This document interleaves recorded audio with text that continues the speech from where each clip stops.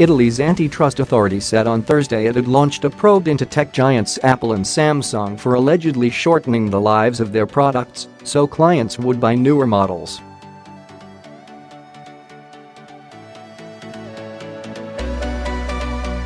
But it's not just Cupertino that's being probed. The watchdog is also investigating Apple rival Samsung over the same claims.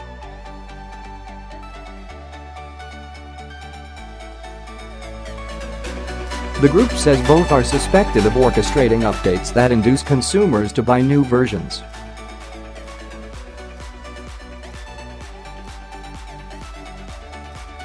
If the investigation concludes that Samsung and Apple sent out updates that may have a negative impact on performance without warning customers, then both would be in violation of four separate articles of Italy's National Consumers Code.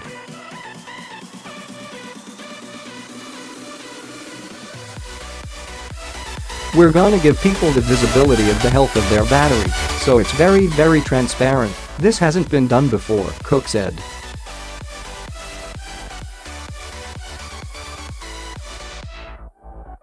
That option, however, won't necessarily mitigate the claims of planned obsolescence against Apple as the throttling has been in place for almost a year.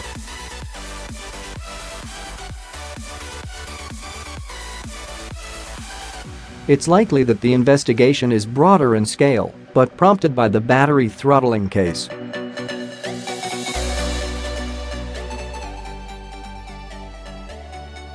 When Apple first admitted that it had throttled the CPU on iPhone models beginning with the iPhone 6, many thought that Apple was taking a cue from the auto industry and was using planned obsolescence to force current iPhone users to update to the latest handsets.